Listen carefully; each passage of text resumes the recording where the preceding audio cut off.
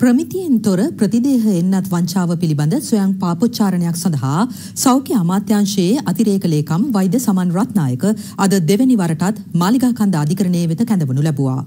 දැනට රක්ෂිත බන්ධනාගාරගත කර සිටින සැකකරු පාපොච්චාරණයක් කිරීමට මීට පෙර සිය නීතිඥයින් මාර්ගයෙන් අධිකරණයෙන් ඉල්ලීමක් කර තිබුණා.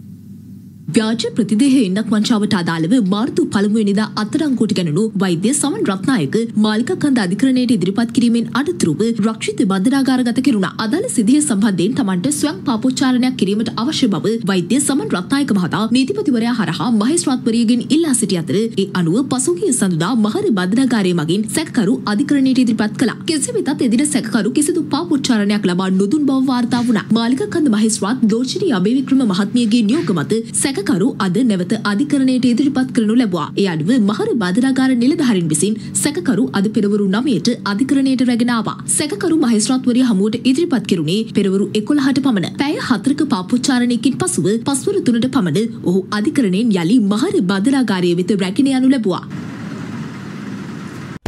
සත නිවස් ප්‍රධාන පුවත් විකාශය සවස හයයි විසි පහට සුප්‍රීම් TV ඔස්සේ දවසේ දසත පැතිරුණු පුවත් ඇසිල්ලෙන් දැනගන්න. දසත YouTube නාලිකාව සබස්ක්‍රයිබ් කරන්න.